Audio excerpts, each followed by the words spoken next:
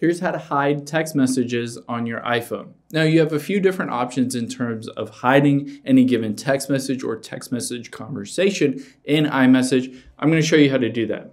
The first thing that you'll want to do is hop into settings here and tap on notifications. Now on here, we'll scroll down until we find iMessage or messages and tap on that. Now on here, if you see all of these different things, the banners, lock screen, notification center, potentially you just want to completely turn off allow notifications, which means no notifications either if you're on your lock screen or if you've unlocked it and you're on your home screen, there won't be any kind of indications that you're getting a text from a specific person and it'll essentially hide that unless they open up that iMessage itself.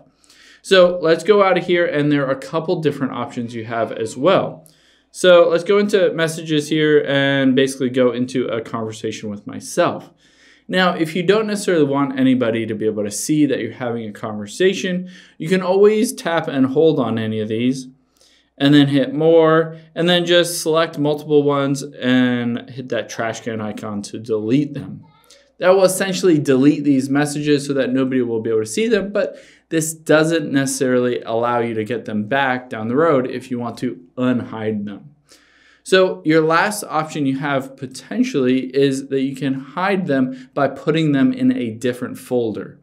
So let's go back into your settings and I'm going to go back, back, and I'm going to scroll down and tap on messages here. Now I'm going to scroll down again and go to filter unknown senders and turn that on. Basically, this will put all of the unknown senders that you're having conversations with in a different category. So let's hop out of here and go back into messages. And you see at the very top left is filters and here is unknown senders.